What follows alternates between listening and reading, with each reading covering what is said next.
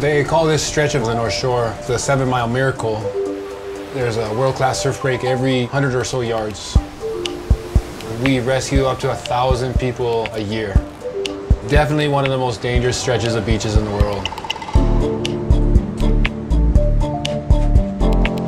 My name is Tau Hannemann, and I've been a lifeguard for 14 years here on the North Shore. I work here at Ehukai Beach Park.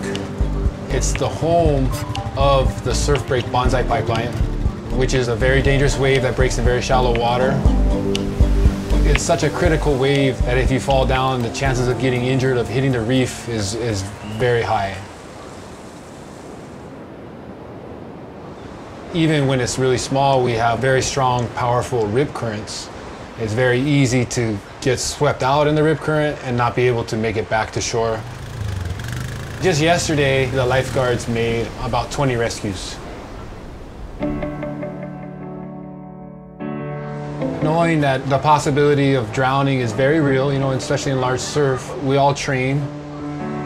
My training consists of running the beach, of swimming, anything basically in my area.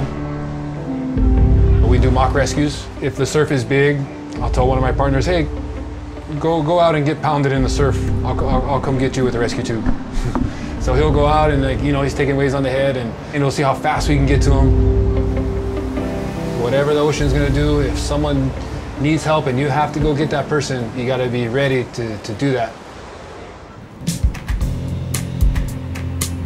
You're putting yourself in a very risky situation, but knowing that your partner has your back, there's, it, it builds a strong sense of camaraderie. We have a good morale between us all. We do this job for the love of the job. Basically, if you, if you can save another person's life, it's very rewarding for sure.